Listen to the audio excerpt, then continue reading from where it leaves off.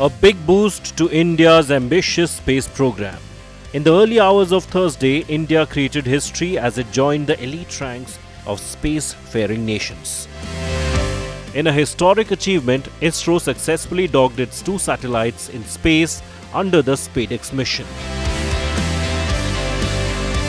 This groundbreaking feat makes India the fourth nation in the world, after the United States, Russia, and China, to possess rendezvous, docking, and undocking capabilities in space.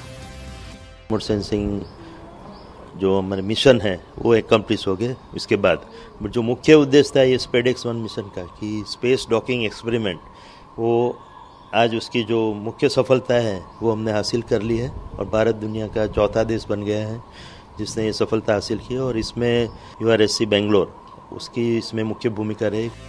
The docking involved precise alignment of two satellites, a process choreographed by ISRO's brilliant scientists.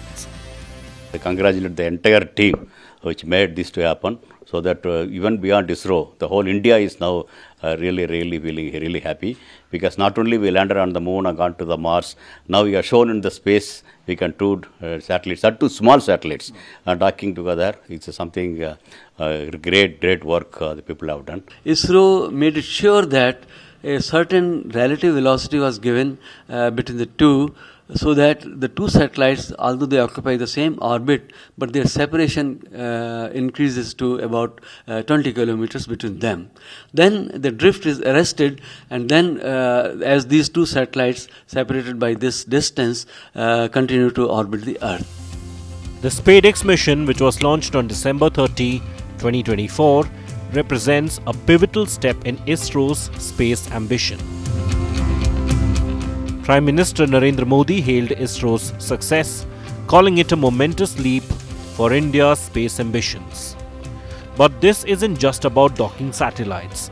This technology will be vital for future lunar missions like Chandrayaan 4 and even for satellite servicing operations, bringing India to the cutting edge of space innovation.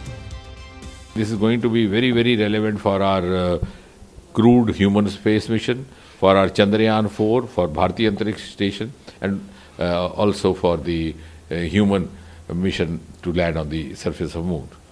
And now we are, uh, I think, no less than any other country, and our space economy has started, started going up.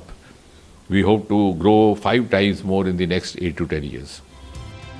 India's space success isn't just a triumph for ISRO, it's a victory for the nation, a moment to celebrate.